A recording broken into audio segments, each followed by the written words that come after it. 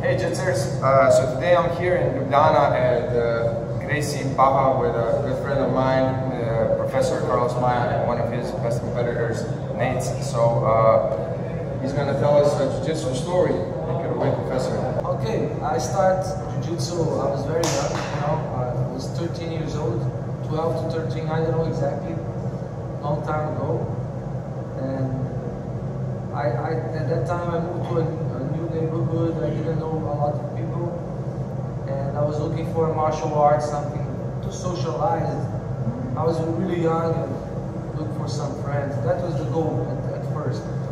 I was good at soccer, but in this place there was no soccer, and I said, well, okay, so let's look for something. I did karate when I was a kid. I did a little bit of karate, so I was looking for martial arts. And some, most of my friends they were doing Muay Thai because at that time we have a few challenges in Rio de Janeiro, what, what made uh, Muay Thai very popular.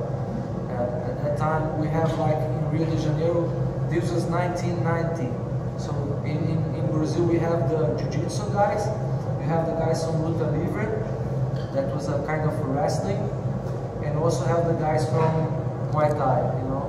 But Muay Thai and wrestling, uh, these guys, Luta Livre and Muay Thai, they were together, they trained together. So basically, the guys from Muay Thai, they also knew Luta Livre, you know.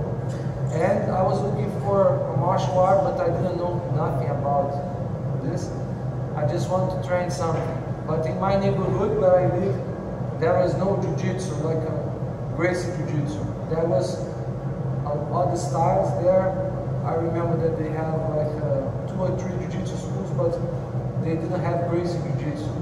Because at that time in Brazil was like, you have a Gracie Jiu-Jitsu school, and you have uh, Fadda Jiu-Jitsu school. So, or the guys come from Fadda Jiu-Jitsu or from Gracie Jiu-Jitsu.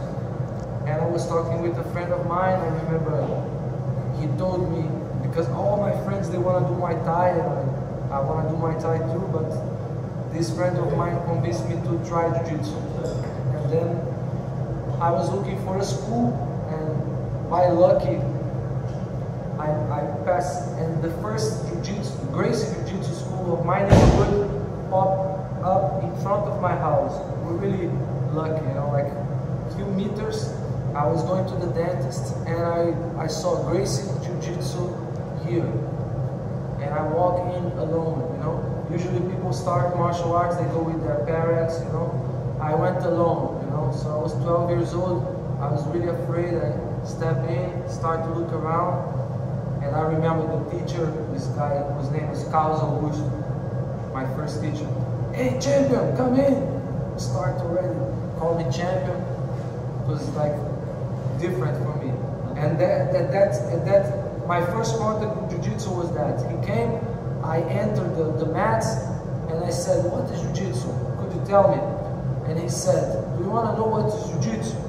Okay, so you step in, I take the shoes off, then I take, took the shoes off, and when I entered the mats, he just grabbed me by the neck. What you do now? And I was like 12 years old, I, I freezed, I, I, you know, I didn't know what to do.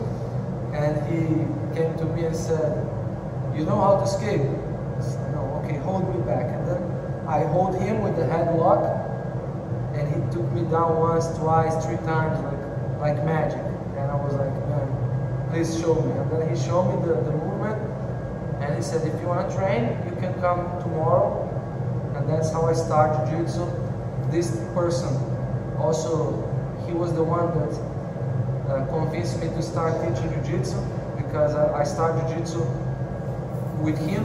But when I was 16, 17, I started training Gracie Barra because I have goals to become a champion.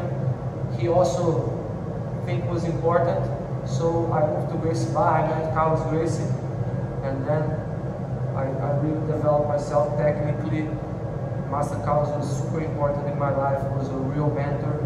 But this man that introduced me to Jiu-Jitsu, my first teacher, he was very important for me too. You know, he was, when I was 19 to 20, I got my, my purple belt, and then he said, you should teach Jiu-Jitsu, you know? and then I started teaching.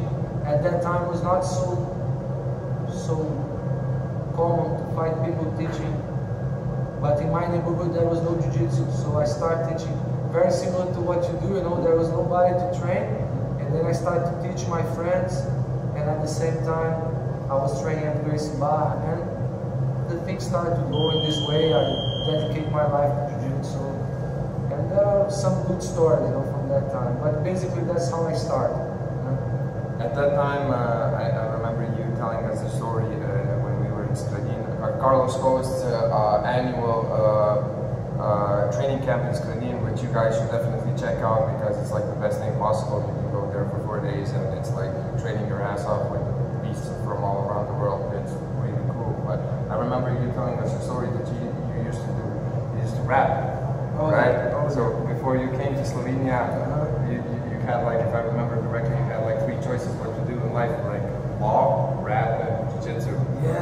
Like That was about You know, I jiu-jitsu was always my passion, you know, but I remember not many people was able to live from jiu-jitsu, you know, like it was not a reality. It was a dream, but not a reality. There was no professional athlete at that time in 90s. It was, the, the competition was just starting, you know. And there was, I always wanted to do jiu-jitsu for my life, but it was not, I didn't even think much about living from it. So I was just thinking, if I can keep jiu-jitsu in my life, it would be great. So I kept the teaching, and at the same time I started the University of Law. And during the process, like on the second or third year of the law uh, university, uh, I used to listen to rap when younger, and some friends that I had, they started to organize a battle, like a like an Eminem battle, you know. and they invited me. Uh, they knew that I, I knew how to rap, and they started to ask me, "Can we do that?" And when I saw I was already on the stage, uh, it started like a small thing, and then started to grow, grow, grow, and it it grew a lot. I was maybe one of the guys that was really doing this good in Brazil. So I was doing freestyle rap. So I had the possibility to become a rapper, huh? but I don't know if it was it would be a good choice. And jiu-jitsu was always my passion, so I took the rap with me till I could, but came into a level that I couldn't do it. It was a hobby, but it started to be too professional because I, people invite me to work on this. And at the same time, I, I was finishing university, so at the same year I get the, the black belt, I get the diploma, and I, I was in rapping at that time. So I had to make a decision. I was in a crossroad, and I decided for jiu-jitsu. You know, I think that was what I love. I love to do. I imagine myself doing this to the rest of my life. So I think I, I did a good decision. I think so too. Uh, how did you, uh, what made you choose Slovenia? Oh man, that's a question that people do a lot. I didn't choose Slovenia. Actually, this week, it's maybe this week at 12, I think 13th of March, 10 years ago, 2008, I came to Slovenia for the first time. So it's actually 10 years now that I'm living here, least that I know the country. Well, th- there was an invitation for me to come to, to train a, an MMA fighter. A friend of mine made this contact and asked if I would like to come. And I came, I teach for three months, and people invited me to come back in 2009. And then I came back 2009, and they really asked me to come, to stay a little longer. And then 2010, I decided to move to Slovenia, and it was once again a great decision. I really like the country. I made friends. They are my family now here. That's great. Jiu-Jitsu, connecting people.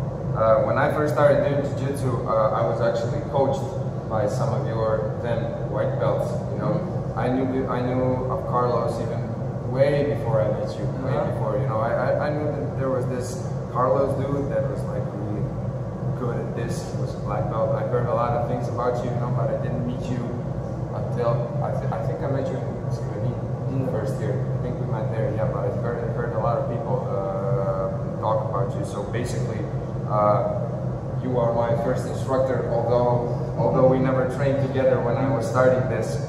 Uh, so thank you, Professor, for the for the time for the interview. You guys can go check the uh, website from Gracie Barra Ljubljana. This is a wonderful place, wonderful people, and if anybody is in the vicinity, I would strongly suggest you go and visit them. This is a really nice gym, and uh, I should come here more often as well. I'll see you all in the next episode of Jiu Jitsu Stories. Was was